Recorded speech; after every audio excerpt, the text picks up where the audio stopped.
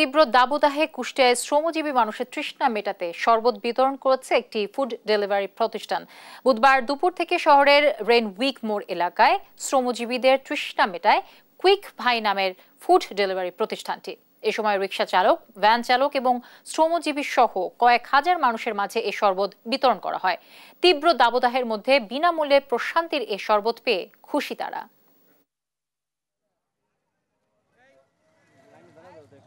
video রাখো হ্যাঁ ওনাদের